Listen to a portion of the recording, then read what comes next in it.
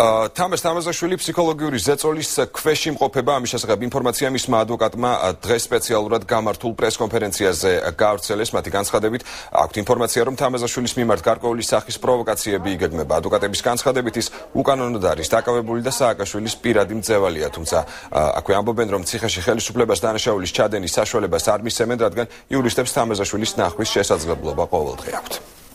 ახალ და ჩემი სიმამლის უდანაშაულობას ჩვენ აუცილებლად დავამტკიცებთ და ყველა არა მხოლოდ ქართულ საზოგადოება, არამედ საერთაშორისო თანამეგობრობა ნახავს თუ როგორ ისჯებიან განსხვავებული პოლიტიკური აზრის მქონე ადამიანები დღეს საქართველოში.